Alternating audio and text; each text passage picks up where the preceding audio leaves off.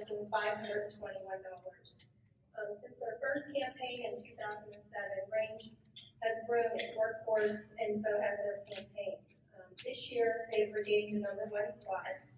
And Marilee, you're the driving force behind the campaign. Um, she's in charge of Range's annual golf outings and clay shoots, which raises the majority of their funds for the campaign.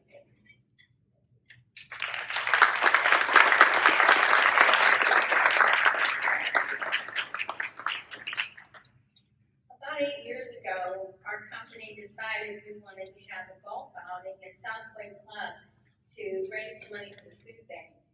And who dreamed that in a couple of years, we moved the event to Nancy Women's because it had grown so big. And then we added a clay shoot to the event too. But I'd like to thank the generosity of our vendors and our customers that come every year and participate in our event. Um, it's been a pleasure working with Barb over the years, and um, it's been a very rewarding experience for me personally, uh, especially in the fall when we present the checks to the charities.